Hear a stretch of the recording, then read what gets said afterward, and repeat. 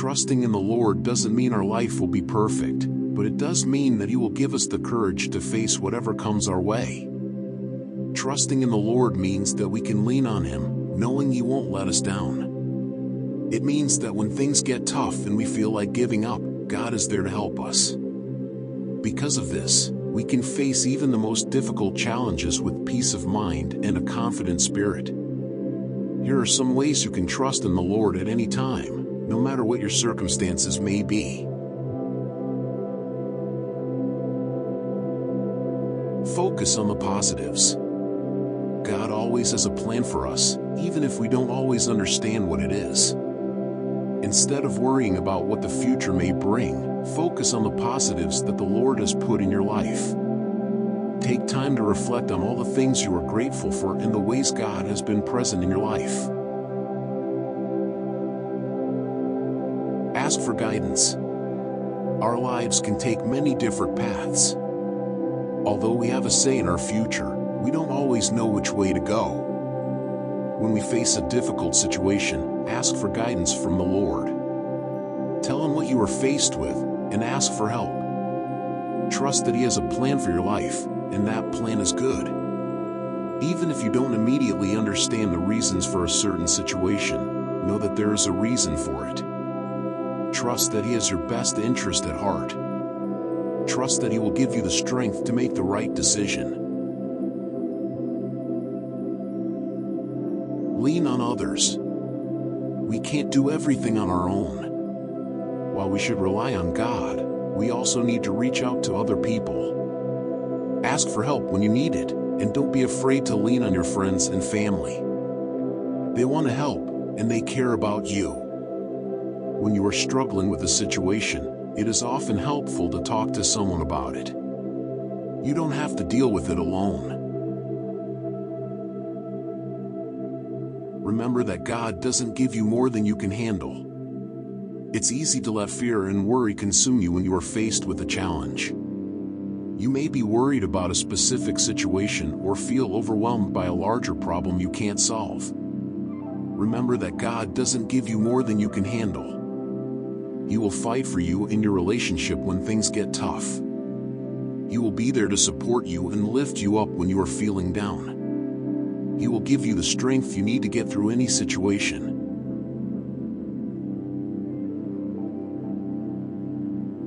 Turn to Scripture when you feel apprehension.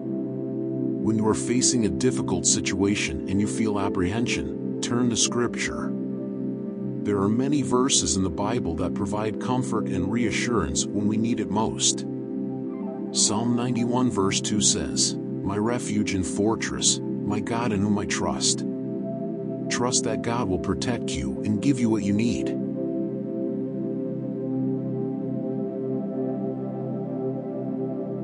Trusting in the Lord doesn't mean that you don't have to try, but it does mean that you have to know when it is time to let go. You have to know that sometimes the outcome of a situation is out of your control. This doesn't mean that you are a failure, it means that you are human. When you trust in the Lord, you are placing all of your trust in Him. You are letting go of all the worries and fears you have, knowing that they will all be taken care of.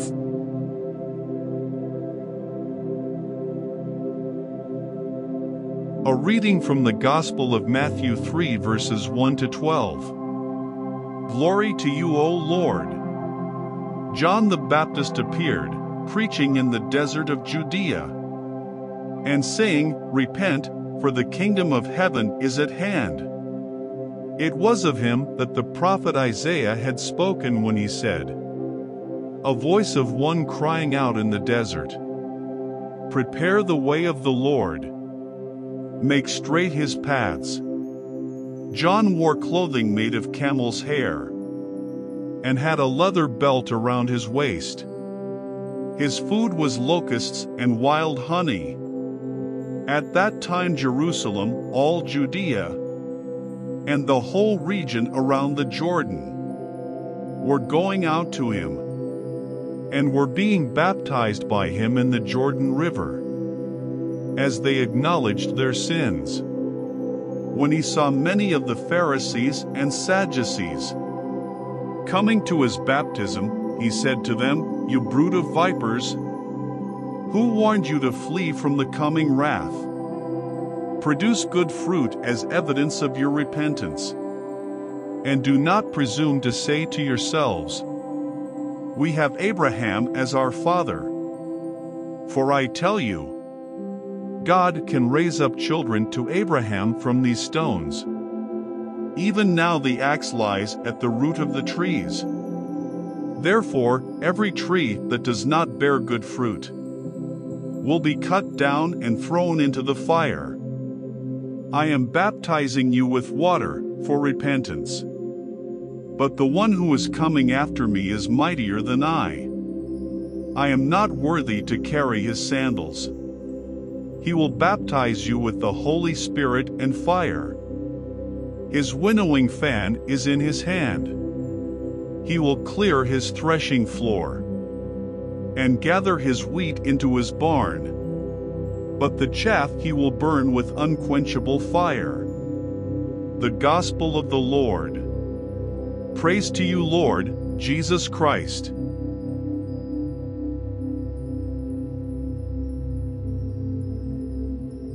What does it mean to repent and prepare for the kingdom of heaven? John the Baptist is best known for his message about repentance and the coming of the kingdom of heaven. He said, Repent, for the kingdom of heaven is at hand.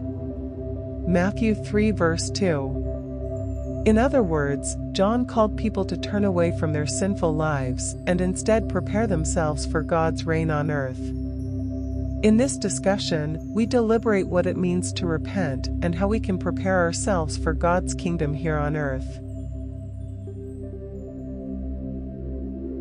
Why is repentance important? Repentance and the recognition of sin in our lives is the first step towards preparing ourselves for the kingdom of heaven. As we've seen, repentance is the process of changing our hearts so that they are no longer controlled by sin.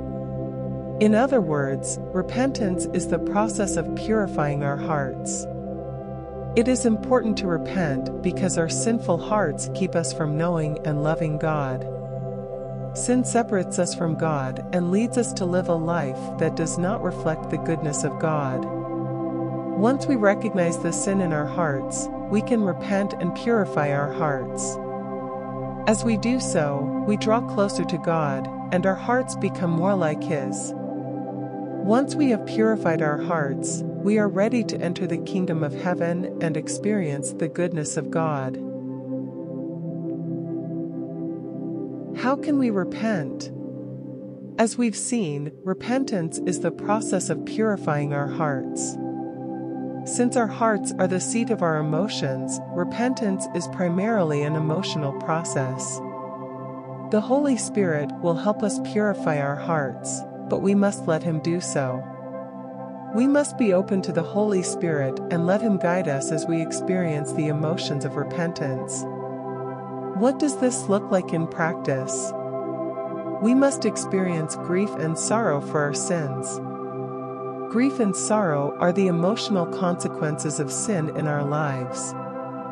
We must experience these emotions so that they can be purged from our hearts.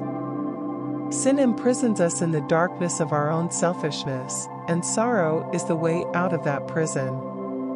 When we experience sorrow for our sins, we open the door for the Holy Spirit to give us freedom. We must acknowledge the falseness of our sinful lives so that we can walk away from them.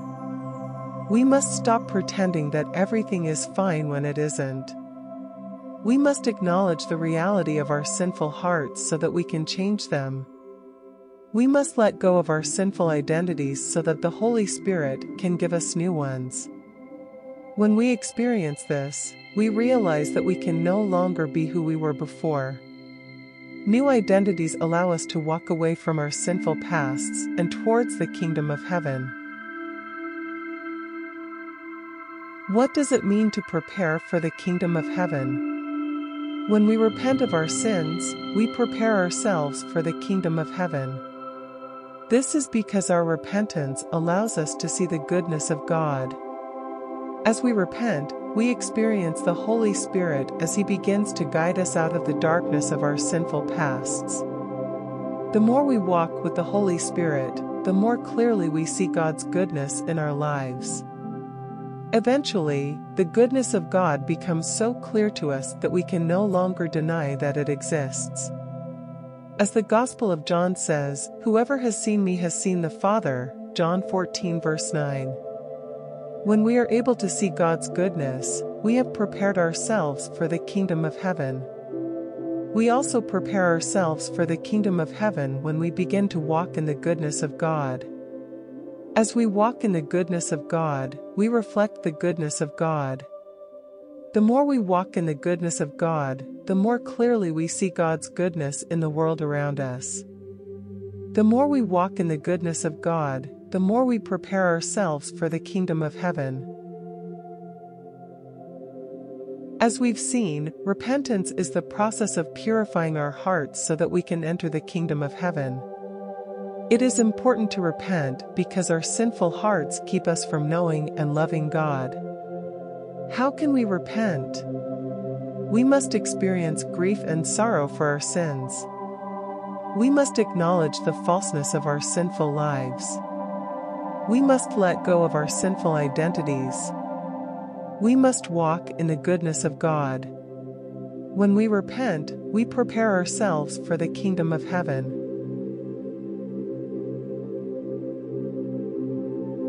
Short Prayer of Repentance I ask you, O most holy Trinity, to spread the fire of your merciful love in this heart that is so cold, to enlighten this dark mind with the light of the Son, who alone is gracious all and all the truth in it.